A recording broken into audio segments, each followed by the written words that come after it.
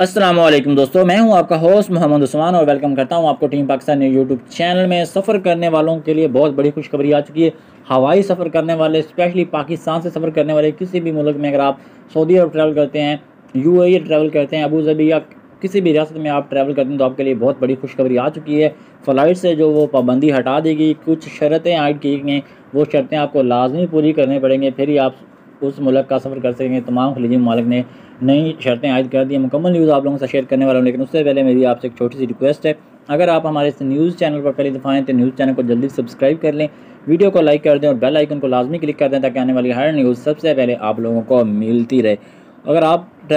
U A government ने पाकिस्तान के तमाम मुसाफरों के लिए परवाज से छः घंटे कबल कोरोना पीसीआर टेस्ट लाजमी करार दे दिया है। अगर आप यू में ट्रैवल करने वाले हैं, क्योंकि पाकिस्तान के लिए फ़्लाइट्स बहाल हैं यू यू के लिए अगर आप दुबई ट्रैवल करना चाहते हैं, शारजा ट्रैवल करना चाहते हैं, या अबू जबी ट्रैवल करना चाहते हैं तो अबू जबी हुकूमत की जानब से भी जो उनके कंट्रोल में उन्होंने ये ऐलान किया है कि यू गवर्नमेंट में जो भी लोग पाकिस्तान से ट्रैवल करेंगे उनके लिए, अगर आप